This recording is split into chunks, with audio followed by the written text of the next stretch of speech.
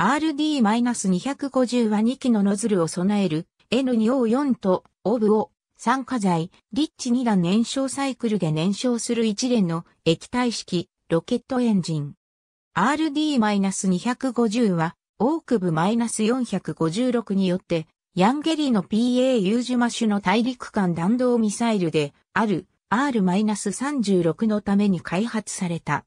複数の派生機種が同様にチクロン -2 とチクロン -3 打ち上げ機にも使用される。チクロン -4 での使用も予定されていたが、生産終了により計画は中止された。複数の派生型がある。これらのいくつかのエンジンは複数のエンジンが束ねられる。複数の専門家は RD-250 エンジンの技術がウクライナから北朝鮮へ移転した可能性があると主張する。この移転は中距離弾道ミサイルである火星12と大陸間弾道ミサイルである火星14の2種類の新型ミサイルが短期間で開発されたことが根拠である。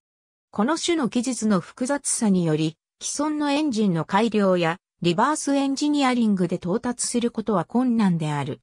そのため、完全なエンジンが闇市場を通じて直接北朝鮮へ運ばれたとする説が有力である。